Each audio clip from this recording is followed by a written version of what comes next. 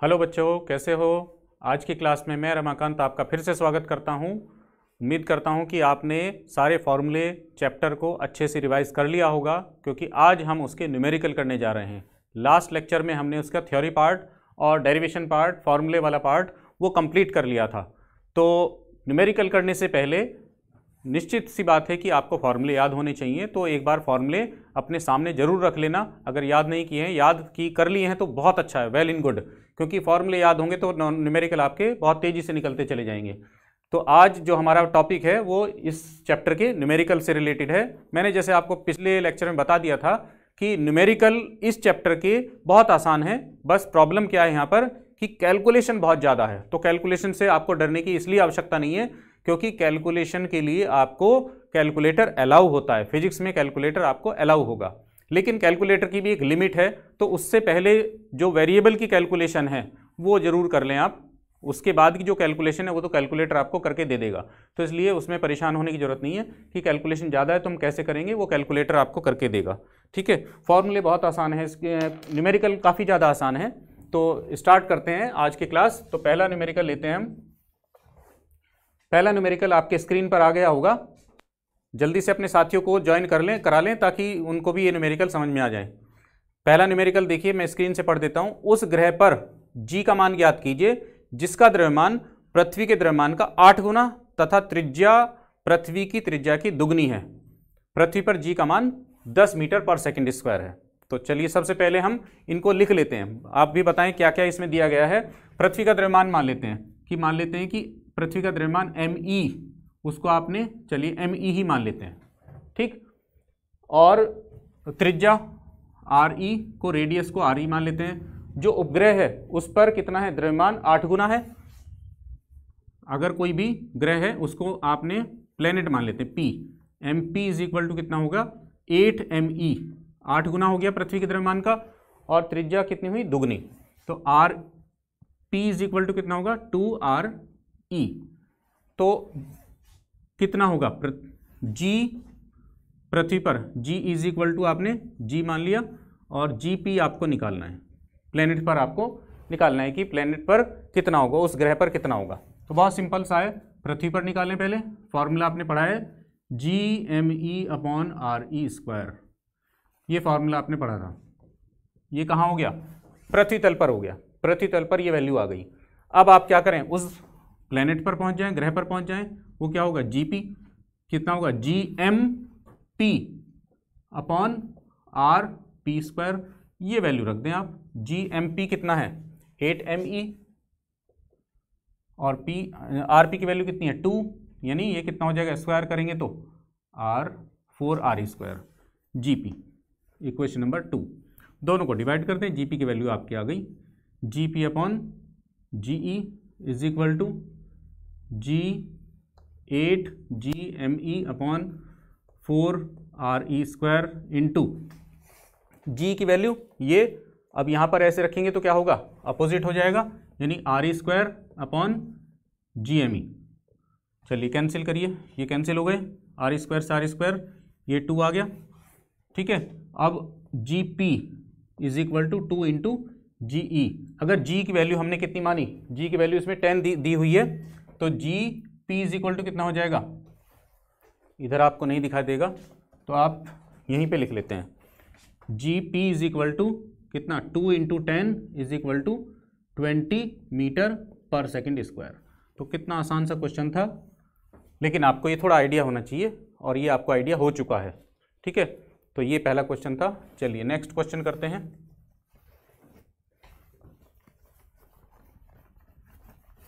दूसरा क्वेश्चन आपके स्क्रीन पर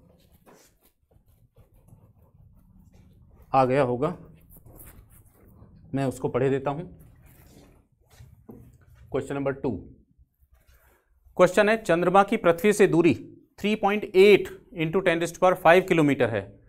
चंद्रमा की पृथ्वी के चारों ओर घूमने की कक्षेचाल ज्ञात कीजिए। पृथ्वी का द्रव्यमान और जी की मान दिया हुआ है। तो सबसे पहले तो आप नोट कराएँ कि क्या क्या चीज़ इसमें गिवन है। ठीक है? लिखें आप भी क्या क्या चीज़ गिवन है। पृथ्वी चंद्रमा की पृथ्वी से दूरी R is equal to three point eight into ten raised power five kilometre दूसरा क्या है? निकालना आपको क्या है? कक्षीय चाल, यानी ओ निकालना है। और पृथ्वी का द्रव्यमान दिया है M E is equal to six point one into ten power twenty four kilogram और जी की वैल्यू दी गई है six point six seven ten power minus eleven newton metre square per kilogram square ठीक है? तो बहुत सिंपल सा क्वेश्चन है वैसे।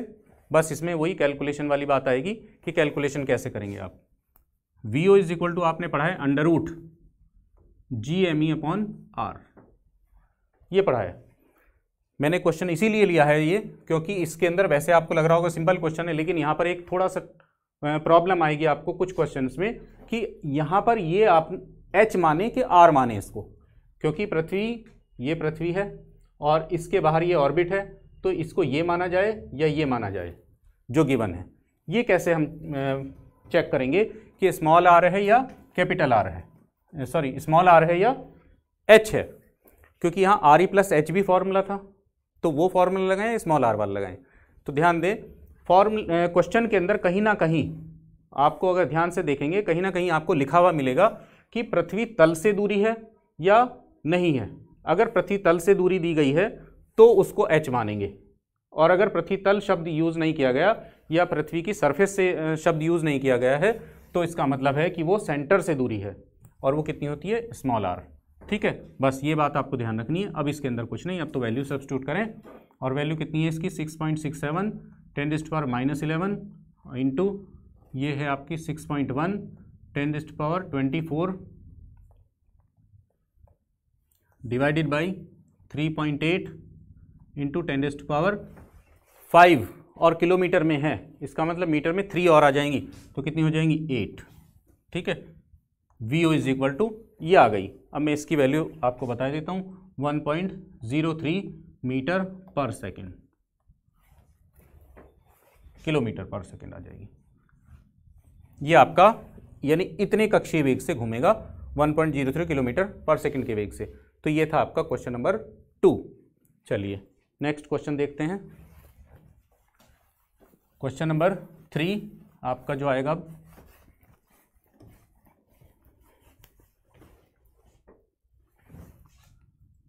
question number three question number three आपके स्क्रीन पर है। चंद्रमा पर जी का मान 1.7 मीटर पर सेकंड स्क्वायर मापा गया। जी का मान, आप साथ साथ नोट करें, बताते रहें। जी कितना, चंद्रमा पर moon G M M for moon लिख दिया मैंने। कितना 1.7 मीटर पर सेकंड स्क्वायर ठीक है? मापा गया। यदि चंद्रमा की त्रिज्या पृथ्वी की त्रिज्या की पॉइंट टू सेवन गुना है, तब पृथ्वी व चंद्रमा के द्रव्यमानों की तुलना कीजिए। पृथ्वी पर जी का मान दिया हुआ है। तो पृथ्वी पर जी का मान ई मान लेता हूँ मैं इसको 9.8 मीटर पर सेकंड स्क्वायर। और त्रिज्या पृथ्वी चंद्रमा की त्रिज्या पृथ्वी की। पृथ्वी की त्रिज्या मान लेते हैं आर ई और चंद्रमा की त्रिज्या point two seven R E ठीक है, पॉइंट टू सेवन है। तो बहुत आसान सा क्वेश्चन है ये भी। इसको कैसे करेंगे आप? G E is equal to कितना होता है? G M upon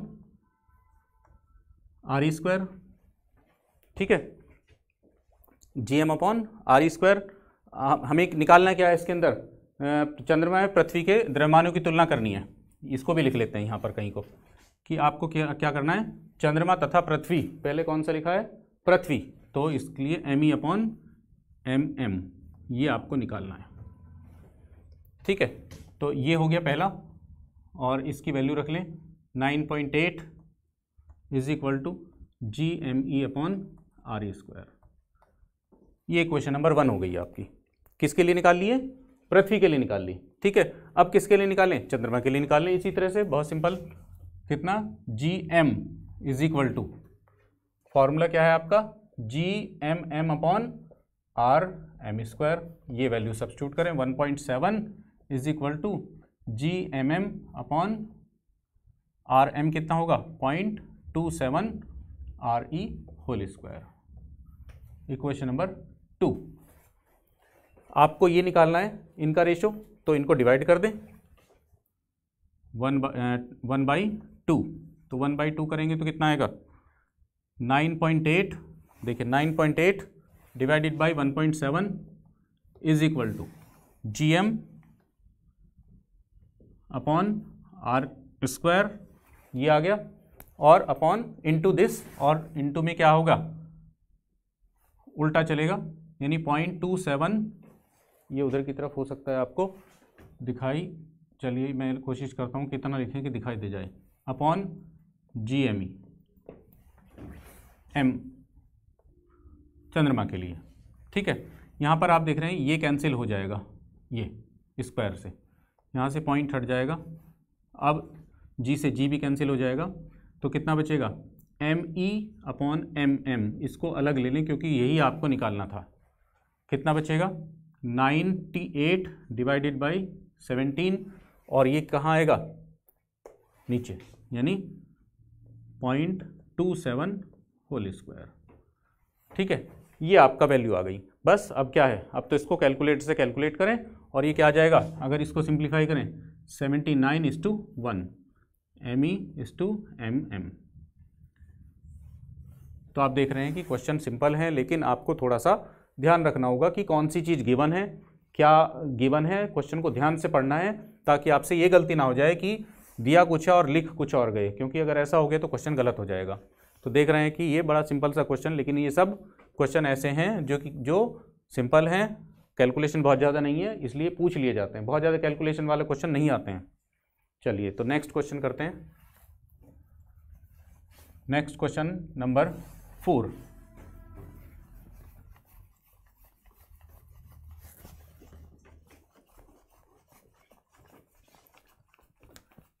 next question जो फोर आ गया हमारा, ये भी आपके स्क्रीन पर आ गया होगा। ये अब प्लायन वेग से संबंधित आ गया कि 100 किलोग्राम की वस्तु को पृथ्वी से प्लायन कराने के लिए कितनी ऊर्जा की आवश्यकता होगी। मास दिया है m is equal to hundred kilogram ठीक है? इसको प्लान कराना है, कितनी ऊर्जा की आवश्यकता होगी ई आपको निकालना है। बताते रहें साथ साथ आप भी कि क्या दिया है, क्या निकालना है। जी की वैल्यू कितनी है? टेन मीटर पर सेकेंड स्क्वायर और आर की वैल्यू है six point four into ten डिस्ट power six metre ठीक है? ये सारी वैल्यूज़ दी गई हैं। अब आप कैसे निकालेंगे? ई e कैसे निकालेंगे? ई e की वैल्यू यहाँ पर आपको एक कंसेप्ट लगाना पड़ेगा कि प्लायन ऊर्जा किस रूप में दी जाएगी। बताएँ कमेंट करें जल्दी से। यस किस रूप में दी जाएगी? गतिज ऊर्जा के रूप में। है ना? गतिज ऊर्जा के रूप में। तो आप क्या लिख सकते हो? E is equal to half M V E square बिल्कुल ठीक है, इसको ऐसे लिख सकते हैं आप। तो कैसे पता लगेगा आपको? यही कंसेप्ट आपको ध्यान रखना होगा। कि जो एनर्जी है वो किस रूप में दी जाती है? काइनेटिक एनर्जी के फॉर्म में। और काइनेटिक एनर्जी का फॉर्मूला क्या होता है? हाफ़ एम और वी क्यों ई e क्यों लिखा? क्योंकि एस्केप वेलोसिटी जो वेलोसिटी होगी, वो क्या बनेगी हमारी? एस्केप वेलोसिटी बनेगी। ठीक है? तो इसलिए वी ई e लिख दिया। बस, अब वी ई e की वैल्यू सब्सिट्यूट कर लेते हैं यहाँ पे। और वी ई की वैल्यू कितनी होती है? Under root two G M E upon R E या इसको दूसरे रूप में भी लिख सकते हैं आप। चलिए, इसको ऐसे लिखें पहले तो आप। टू से टू कैंसिल हो गया। एम जी एम की वैल्यू कितनी होती है? G R square upon R E एक आर से आर कैंसिल तो ये फॉर्मूला आपके आ गया।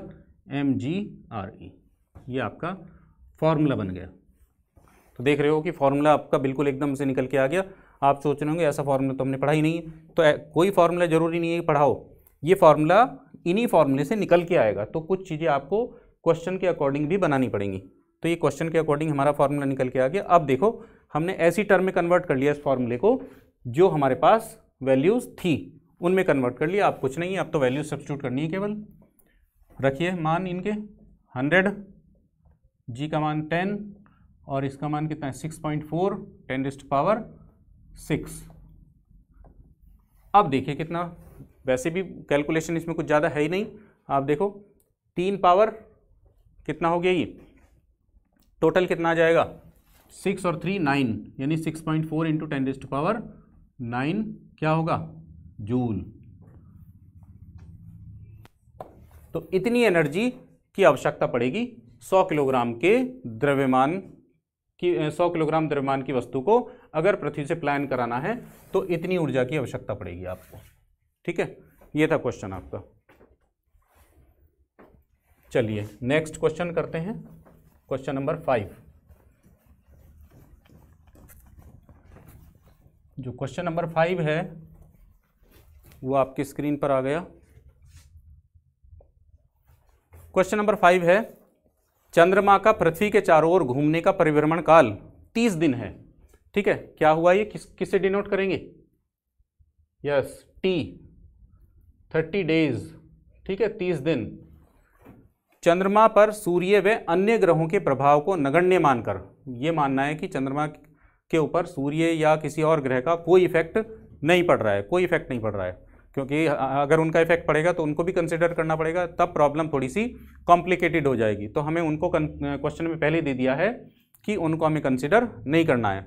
तब चंद्रमा की पृथ्वी से दूरी ज्ञात कीजिए। यानी आर आपको निकालनी है।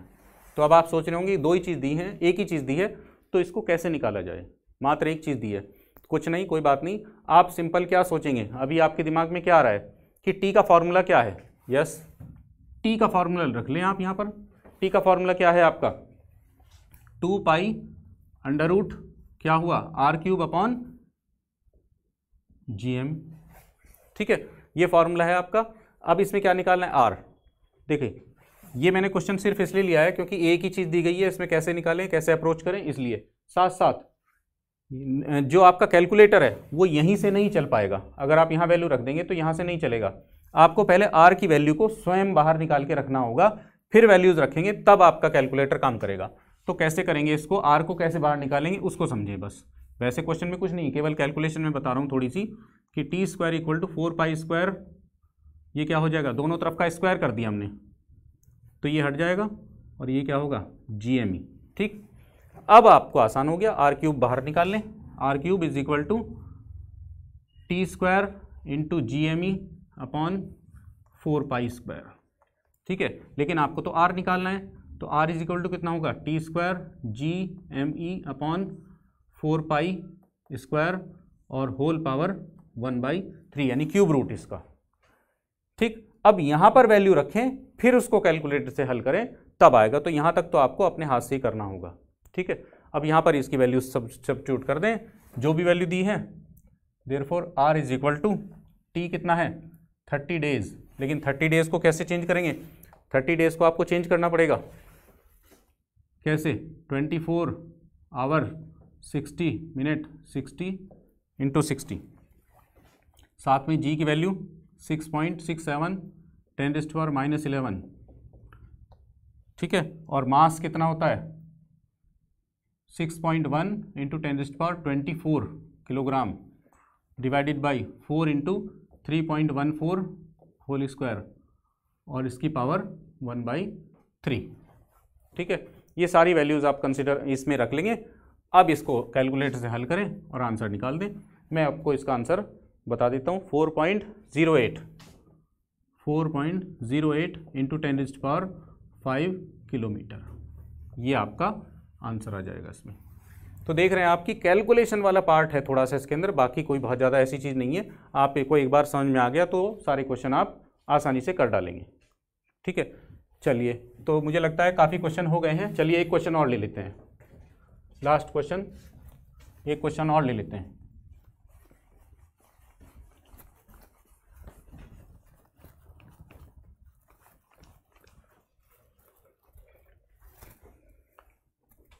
हमारा सिक्स क्वेश्चन आ गया है। किसी उपग्रह का पृथ्वी के चारों ओर परिभ्रमण काल परिभ्रमण काल मीन्स टाइम पीरियड कितना है? Twenty seven point three days तो यही आप करें, लिखते रहें इनको। किसी उपग्रह का पृथ्वी के चारों ओर परिभ्रमण काल सत्ताईस दशमलव तीन दिन है तथा उसकी कक्षा की त्रिज्या three point nine ten power five kilometre है। पृथ्वी के द्रव्यमान का परिकलन कीजिए। जी का मान दिया है। ठीक है? तो बताइए टी का मान तो ये हो गया। और क्या दिया है? उसकी कक्षा की त्रिज्या। कक्षा की त्रिज्या मीन्स आर कितना है ये? ये है आपका three point nine into ten डिस्ट power five kilometre और जी का मान दिया है। पृथ्वी का द्रव्यमान निकालना है। जी का मान दिया है six point six seven ten डिस्ट power minus eleven newton metre square पर किलोग्राम स्क्वायर ठीक है? तो इसके अंदर भी वही फॉर्मूला लगाएँ जो अभी अभी आपने लगाया था। टी का फॉर्मूला लगा दें। बताएँ, टी का फॉर्मूला लगेगा या कोई और सा लगेगा? जल्दी से बताएँ। टी का फॉर्मूला लगेगा, बिल्कुल ठीक है। तो टी का फॉर्मूला क्या था? T is equal to two pi under root R cube upon G M E बिल्कुल ठीक, वही वही क्वेश्चन है सेम तो उसी में क्या करें? इसको भी आर के लिए सॉल्व कर लें। एम के लिए सॉल्व करें इस बार। इस बार एम के लिए सॉल्व करना होगा आपको। तो क्या करेंगे?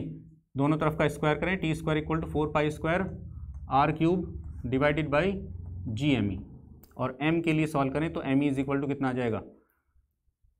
Four pi square R cube divided by G into T square. ठीक है? ये फॉर्मूला आपका एम के लिए निकल के आ गया। अब इसके अंदर वैल्यू रख दें।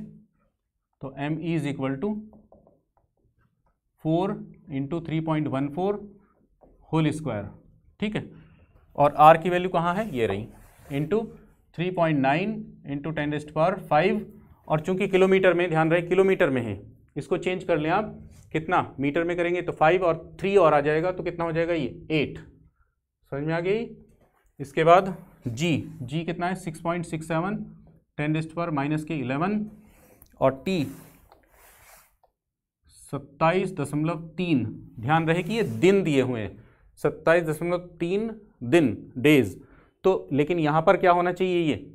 चेंज करना पड़ेगा आपको। तो चेंज करेंगे तो क्या आएगा? इसको चेंज करें। ट्वेंटी फोर आवर में कन्वर्ट हो गया इंटू सिक्सटी मिनट में और इंटू सिक्सटी सेकेंड में। ये आपका फॉर्म निकल के आ गया कैलकुलेशन वाला पार्ट ठीक? इसको कैलकुलेटर में रखें और आपको सिंप्लीफाई हो जाएगा। ठीक है? तो इसकी वैल्यू मैं बता देता हूँ आपको। ये आएगी into ten rest power twenty four kilogram ये आपका आंसर आ जाएगा। तो आप देख रहे हैं कि सारी चीज़ आपको दिखाई दे रही होंगी, मुझे लग रहा है। यस दिखाई दे रही हैं, ठीक है, मैंने स्क्रीन से चेक कर लिया। तो ये आपकी सारी वैल्यूज़ आ गई और इस तरह से ये आपका न्यूमेरिकल जो था, ये कंप्लीट होता है। आप फिर से मैं कह रहा हूँ कि आप देख रहे हैं कि इसके अंदर कैलकुलेशन वाला पार्ट है थोड़ा सा तो कैलकुलेशन वाले पार्ट में आप गलती ना करें। क्योंकि इसमें एक तरह से ये समझिए कि मार्क्स कैलकुलेशन के ही हैं। ये सब चीज़ें तो आप करना, आप सीख गए होंगे बहुत अच्छे से। आपको यहीं पे गलती होगी थोड़ी बहुत कि ऐसा ना हो कि मल्टीप्लिकेशन में या डिवीज़न में कोई गड़बड़ हो जाए आपसे तो इसका विशेष ध्यान रखें और उसके बाद क्वेश्चन में कोई समस्या नहीं आएगी। तो आई थिंक आपको सारी चीज़ें क्लियर हो गई होंगी। लगभग हर हर टाइप का क्वेश्चन लेने की हमने कोशिश की है इसके अंदर और सारे क्वेश्चन आपके क्लियर हो गए होंगे। तो आज यहीं तक छोड़ते हैं इस क्लास को और छोड़ना क्या, हमारा कंप्लीट ही हो गया है चैप्टर ही कंप्लीट हो गया है। तो ये चैप्टर हमारा कंप्लीट होता है। नेक्स्ट चैप्टर में हम नेक्स्ट लेक्चर में फिर से मिलेंगे। तब तक के लिए आप इसको रिवाइज करें अच्छे से और कोर्स में देख रहे हैं आप, नौ चैप्टर कंप्लीट हो गए हैं, है ना? और वेल इन टाइम आप कह रहे थे कि टाइम हमारा कोर्स कंप्लीट हो पाएगा या नहीं? तो आप देख रहे हैं कोर्स हमारा बहुत अच्छे से और बहुत टाइम से कंप्लीट हो रहा है। तो आप इसको रिवाइज भी करते रहें, क्योंकि आपके पास अब टाइम इतना बच गया है कि आप रिवाइज भी बहुत अच्छे से कर सकते हैं। ठीक है? तो आप इसको रिवाइज करते रहें, पढ़ते रहें और नेक्स्ट लेक्चर में फिर से मुलाकात होगी। तब तक के लिए थैंक यू, धन्यवाद।